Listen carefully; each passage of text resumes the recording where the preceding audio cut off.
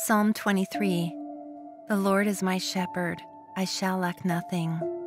He makes me lie down in green pastures. He leads me beside quiet waters. He refreshes my soul. He guides me along the right paths for His name's sake. Even though I walk through the darkest valley, I will fear no evil. For you are with me, your rod and your staff they comfort me. You prepare a table before me in the presence of my enemies.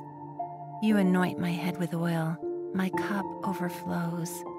Surely your goodness and love will follow me all the days of my life, and I will dwell in the house of the Lord forever. Amen.